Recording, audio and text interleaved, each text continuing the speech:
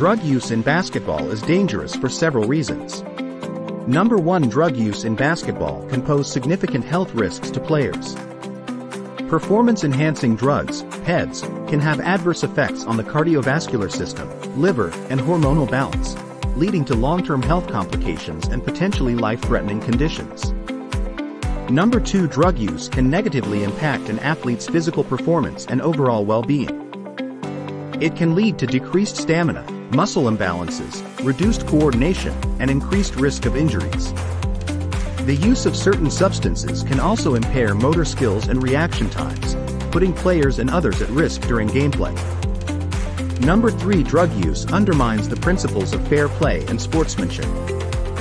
It creates an unfair advantage for those who use substances to enhance their performance, which goes against the spirit of healthy competition and equal opportunities for all players.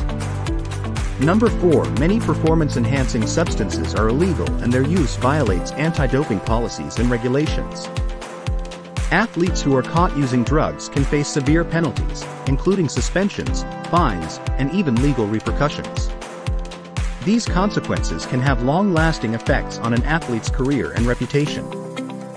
Number 5 Drug use can have negative effects on an athlete's mental health and emotional well-being. Substance abuse can lead to addiction, dependency, and mental health disorders.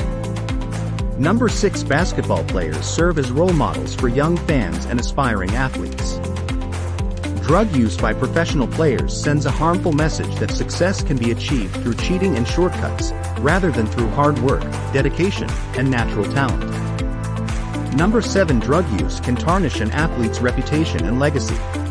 Once exposed, an athlete's achievements and records may be called into question, and their accomplishments may be overshadowed by the stigma of drug use.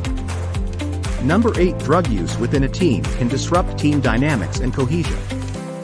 It can lead to mistrust, conflicts, and divisions among players, coaches, and staff.